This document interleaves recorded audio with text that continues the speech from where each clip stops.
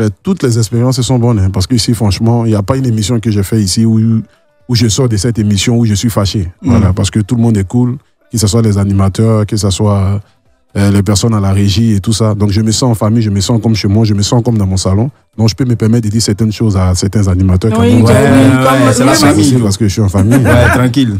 Ça roule. Et as, j'avoue. Et puis, et puis quand tu- Il a commencé Il attaque encore, il attaque encore.